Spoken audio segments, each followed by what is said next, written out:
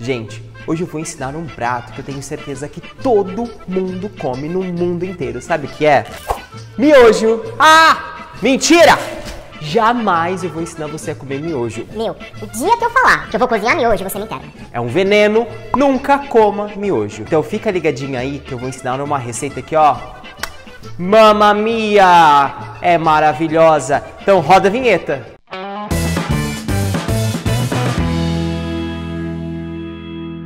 Eu vou ensinar hoje o macarrão à carbonara, uma pasta alla carbonara. Esse prato ele é consumido mundialmente. Ele é papum de fazer muito fácil e tem muitas lendas falando sobre ele, que eu vou comentar no decorrer da receita. Então você vai precisar de pouca coisa: pasta seca, ovo, queijo e bacon. Hum, bacon. Isso, eu amo bacon. Vamos utilizar queijo pecorino. Esse queijo é um queijo de ovelha, mas se você não tiver, pode utilizar o parmesão. Eu sugiro você utilizar o montanhês, que ele é mais saboroso. Vamos utilizar ovo, caipira, um espaguete integral, sim, para ficar mais saudável essa receita. A receita completa está lá no blog, beleza, gente? Então, vamos lá. Lindezos, aproveita, se inscreva no canal, coloca a notificação aí pro sininho apitar quando lançar vídeo novo, que é toda sexta-feira. Coloca seu comentário, fala o que você achou dessa receita maravilhosa. Sugestões também eu tô aceitando, hein? Então vamos lá pro passo a passo. Eu vou utilizar bacon, um pedaço de bacon, em torno de meia xícara. Eu vou cortar ele em cubos, cubinhos, de um por um. Eu vou grelhar ele até secar bem, ele ficar bem crocante. Enquanto isso, pego um dente de alho para aromatizar esse meu bacon e essa minha gordura que vai ali. Se você quiser picar o alho, tudo bem, não tem problema não. Eu não vou picar porque eu quero só aromatizar, não quero fazer alho e óleo. Vou dar uma macetada nele, ó. Perfeito! Coloca aqui para fritar. Há muitas lendas do carbonara, mas muitas. Ninguém sabe ao certo como surgiu esse prato que é muito apreciado na Itália e no mundo inteiro. Tem histórias que falam que um pessoal, que era os carbonares, que trabalhava com carvão, eles levavam alimentos que não estragavam muito, como queijo, ovo e a massa seca, para preparar a refeição para eles, que eles precisavam umas coisas com substância. Tem uma outra que diz que era um pessoal também que trabalhava com carvão, carbone, derivou o nome de carbonara, que eu acho bem bonita essa lenda, é a que eu mais gostei, porque tem uma coisa mais afetiva, achei sensacional essa lenda do, dos carbonares. E aí falavam que eles preparavam isso daí e a pimenta do reino que cai sobre o prato era como se fosse o carvão. Bonito, né? Ai, lindo, achei lindo. Também tem uma história que é dos Carbonares, que era um grupo seleto de pessoas que se reuniram numa osteria para comer este prato que eles chamaram de carbonara. Depois distribuíram essa receita aí. E tem uma que é de 1944, que era quando os americanos estavam na Itália, que os soldados ficavam paquerando as senhoritas lá, italianas. E tinha um cara que vendia tipo um fast food italiano como espaguete. E ele só colocava o queijo pecorino e pimenta do reino. Só que eles queriam umas coisas com mais substância. E aí teve um certo cara que ele tinha ovo em pó e bacon, pancetta e creme de leite e colocou nessa mistura. Mas isso é uma ofensa para os italianos. Não sei se é de fato essa história, mas eu acho interessante também. Que eles introduziram isso para fazer uma coisa com mais substância. É muita lenda, gente. O importante é que esse prato foi feito e ele é maravilhoso. Olha, o meu bacon já está bem fritinho. Olha que maravilhoso. O bacon já fritou. Vou colocar num prato com papel absorvente. Tirar um pouco o excesso do óleo. Enquanto isso, uma panela com água vai no fogo para aquecer. Nosso bacon já está aqui.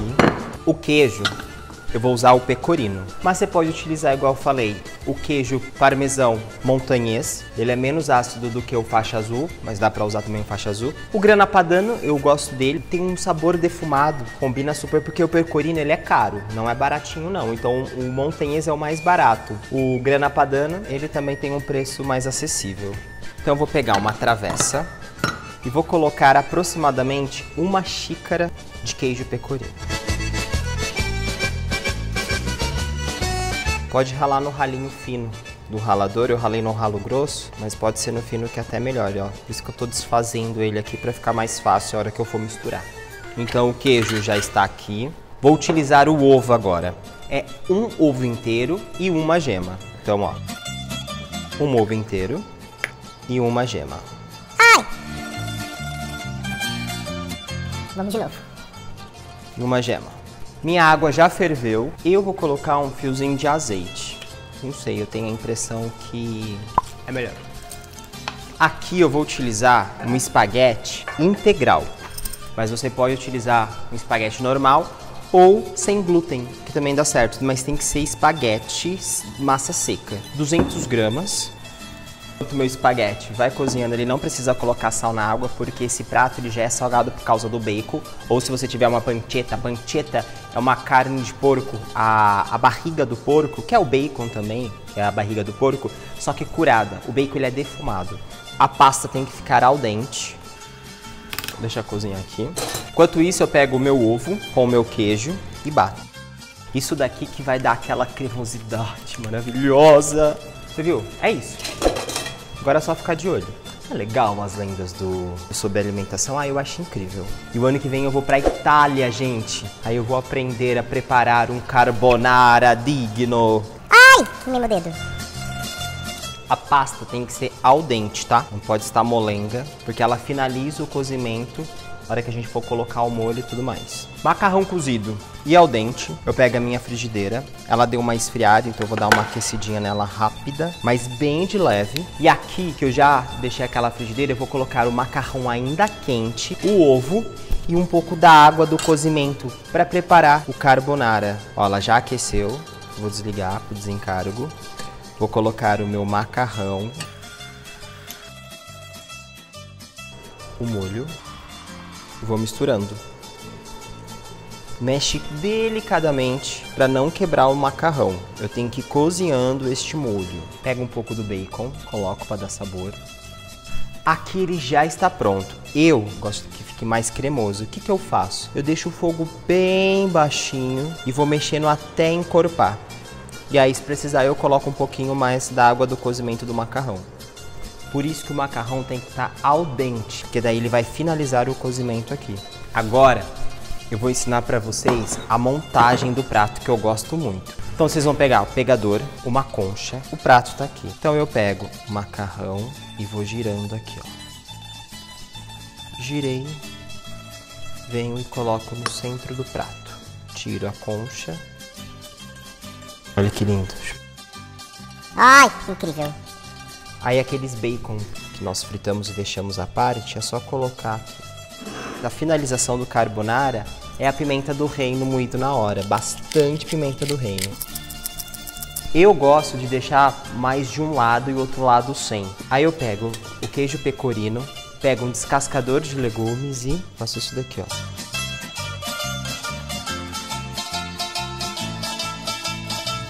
Prego, finalizamos o pasta alla carbonara ou spaghetti alla carbonara. Olha que perfeito! Ai, delícia da pimenta. Gente, é fácil, muito fácil. Então, se você quer a receita completa, tá lá no meu blog, que vai aparecer aqui embaixo. Os ingredientes está aqui, se você viu o vídeo, sabe o passo a passo, dá para fazer. Coloque nos comentários o que você achou dessa receita se inscreva no canal, aperte o sininho e me acompanhe no próximo vídeo que é o Santo Legume. Então beijo, tchau que eu vou comer!